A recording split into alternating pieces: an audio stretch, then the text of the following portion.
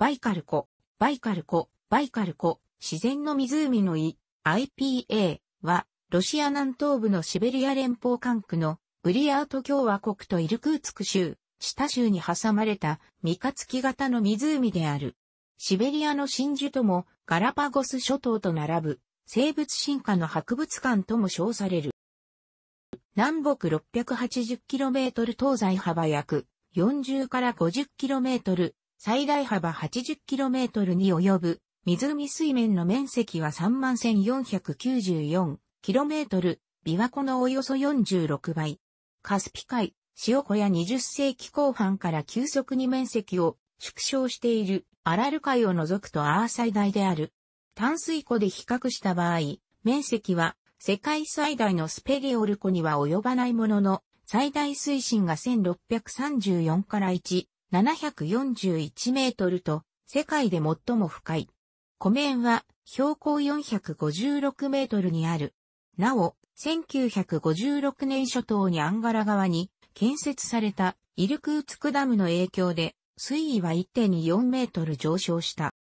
貯水量20-30トルも世界最大であり、世界中の凍っていない淡水の17から20%がここにあるとされる。水質も日本のマシュー湖に代わり世界最高の透明度を誇る湖であり、1996年に世界遺産に登録された。セレンガ川、バルグジン川、上アンガラ川など336本の河川が流入するが、流出する河川は南西端に近いアンガラ川のみである。そのため、水量が常に豊富である。湖には、最大の折本島、面積 730km、奄美大島に、匹敵を、はじめ22の島々がある。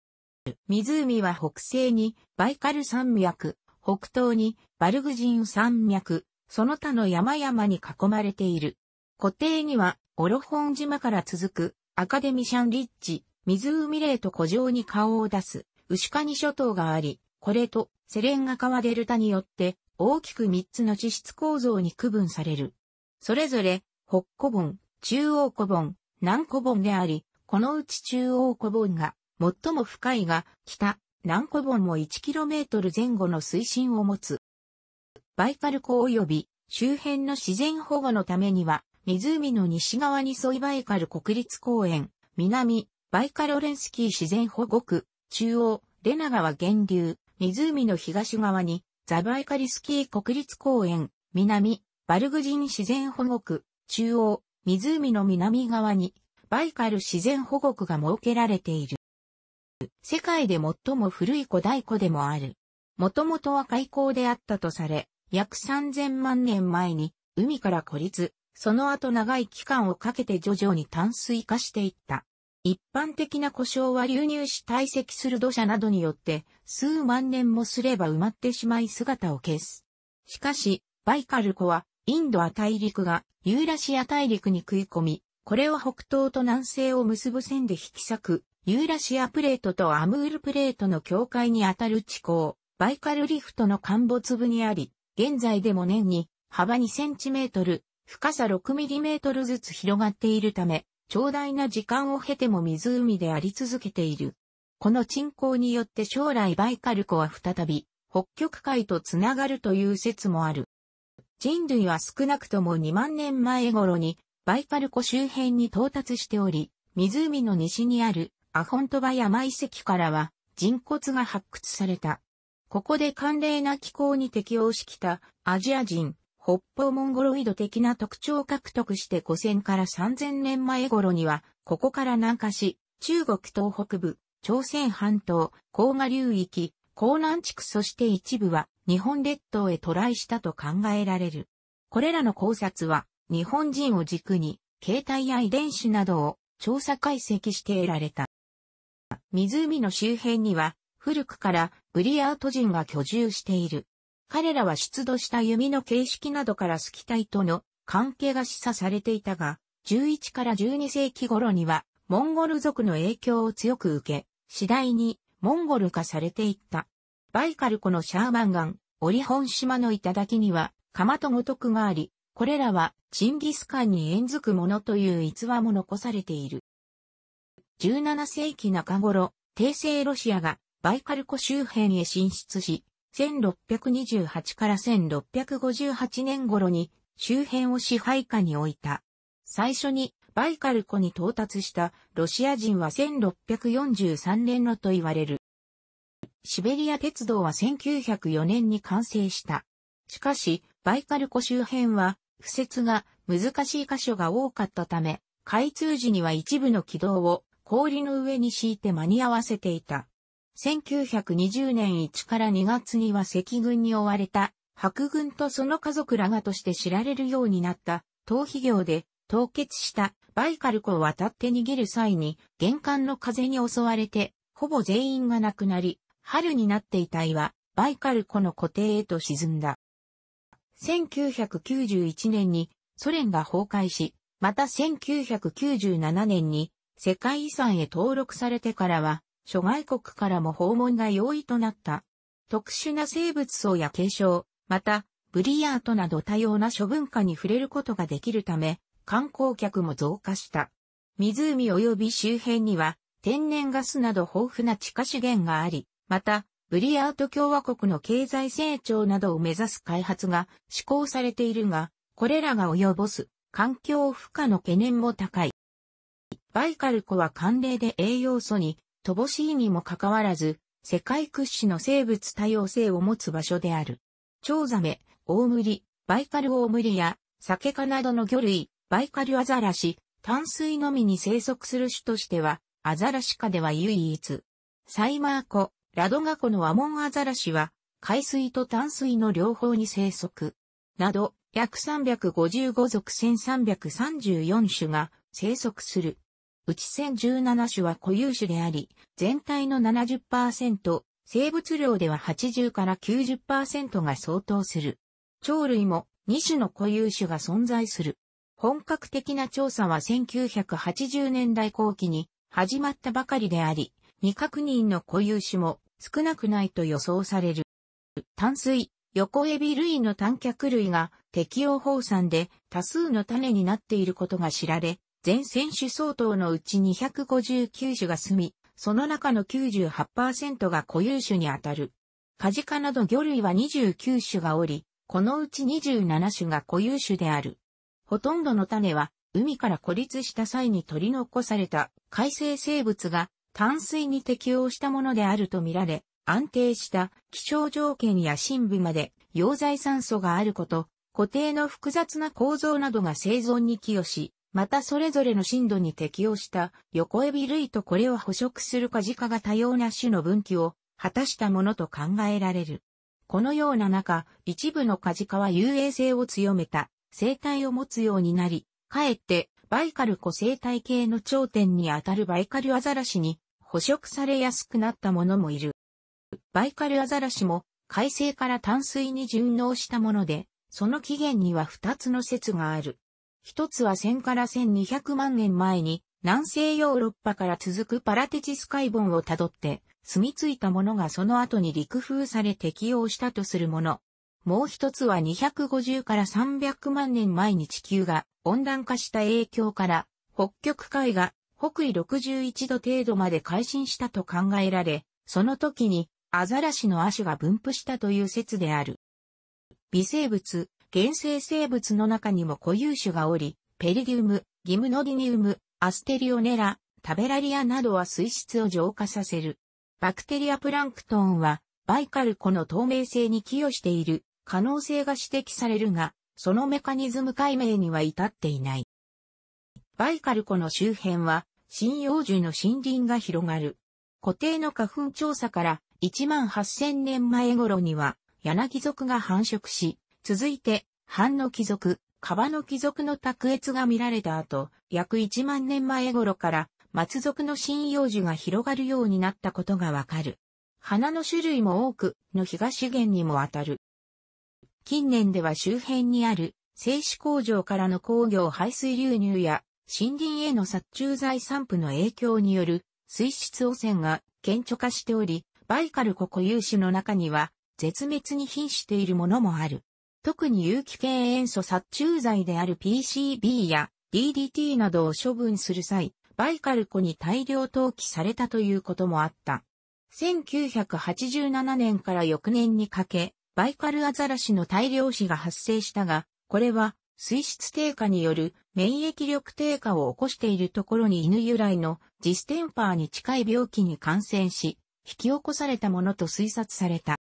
湖の汚染はやはり水質悪化が深刻な北海やバルト海に相当する。バイカル湖には流出河川がアンガラ川しかなく、その排水量は湖水の0.26%に過ぎない。そのため水の交換率が低い上に、近隣諸国から流入する川の汚染や、低緯度地域から流れ込む大気がもたらす物質なども、汚染の原因に挙げられ、一度水質が低下すると、回復が難しい。さらに最近では腫瘍など、形態異常をきたしたアザラシの報告などもある。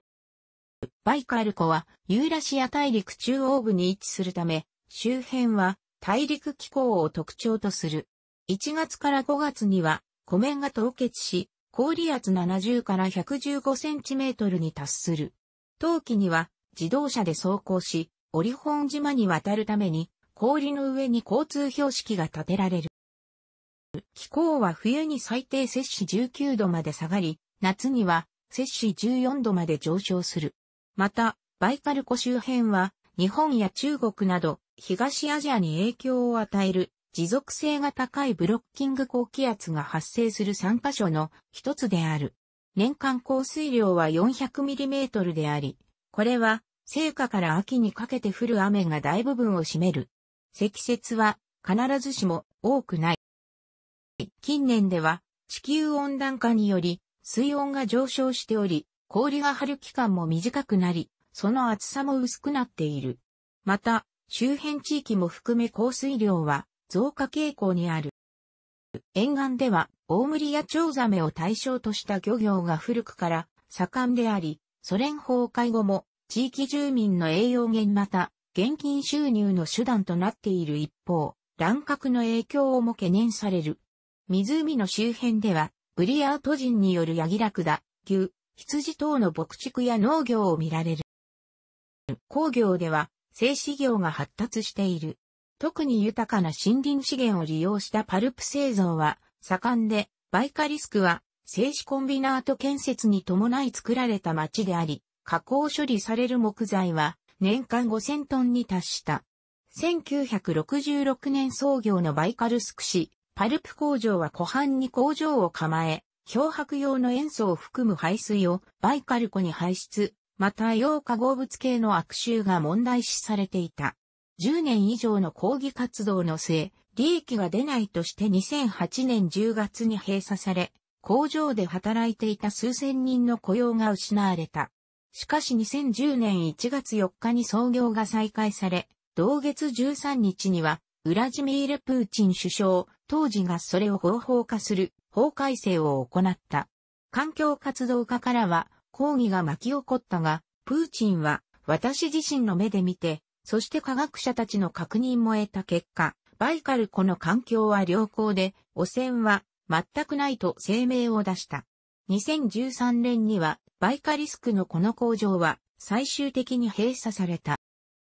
2006年にロシア政府は湖から 95km 離れた地に世界初の国際ウラン濃縮センター建設を発表した。ここで濃縮されたウランの90%はバイカル湖地域に格納されることになり、評論家の中には放射能などによる環境への悪影響が懸念されるとして、計画は再考すべしと主張する者もいる。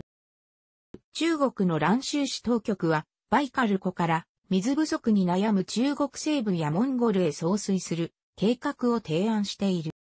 バイカル湖は観光業も盛んである。リストビアンカを観光の足場に、遊覧船や冬でもホバークラフトで古城を周遊できる。近郊には博物館たり地があり、古民家や少数民族の家屋など歴史的建築を見学できる。バイカル湖南端に位置するスリュジャンカ駅からバイカル湖岸に沿って走るバイカル湖岸鉄道は観光路線としても利用されている。バイカル湖の周りに、米国のアパラチアントレールや2班を取った自然遊歩道と宿泊所ネットワーク、が1998年から世界のボランティアによって建設されており、すでに一部利用されている。バイカル湖は主に3つの都市からアクセスできる。北アジアの代表的な湖であるバイカルはいくつかのロシア民謡に歌われてきた。そのうちの2曲はロシアだけでなく、日本などの近隣諸国でもよく知られている。民謡であるが、歌詞を書き留め整理した意味での作詞者がいるので、歌詞は一部のみを以下に書き留めておく。これら2曲は、今でもロシア民謡集などの CD によく含まれている。バイカル湖では、数々の国際的研究や調査が行われている。特徴的な生態系の研究は1988年11月に当時のソ連科学アカデミーがバイカル湖国際生態学研究センターバイザーを開設し、バイカル湖周辺を世界中の研究者に向けて門戸を開くとともに科学発展と環境及び生態系保全への取り組みを始めた。これはロシア政府が引き継ぎ、日本やアメリカなど5カ国が参加した設立運営委員会の運営のもと、バイカルアザラシの生態や予想外に進行していた環境汚染問題などに取り組んでいる。1997年にバイカル湖底の堆積度からメタンハイドレートが発見された。これは淡水湖としては唯一である。その後の調査で土中深さ数メートル程度の浅い部分に分布する表層型が多く見つかり、南海トラフのような海底から250メートル以上、深い場所にある、深層型よりも採取が良いと期待される。バイカル湖の固定掘削では、一方で、過去数万年分のユーラシア大陸で起こった気候の変動を知る土壌サンプルを入手することができる。これらはドリルで採取したコアをその層ごとに年代測定し、各層における高分子炭化水素類やバクテリア由来の炭素内に含有する同位体比などを分析して考察される。透明度が高く不純物が少ない水を利用し、バイカル湖ではニュートリノの観測も行われている。1993年に設置された水深500メートル以上の湖底に沈めた検出器を使い、主に湖氷が凍結する冬季に観測が行われる。将来には高エネルギーニュートリノを観測可能な沿岸から 3.6km 離れた深さ 1.1km の地点に192個の光学モジュールを設置する NT200 計画が定めされている。2008年、ロシア政府は地質学及び生物学的調査のために深海探査船ミール2機をバイカル湖の湖底まで潜水させた。水面下1592メートルにまで到達した調査は成功したが、もともと目指していなかったこともあり、淡水湖潜水の世界記録が1990年にバイカル湖で達成した1637メートル更新とはならなかった。本客中は出展、客中内で提示されている出展を示しています。楽しくご覧になりましたら、購読と良いです。クリックしてください。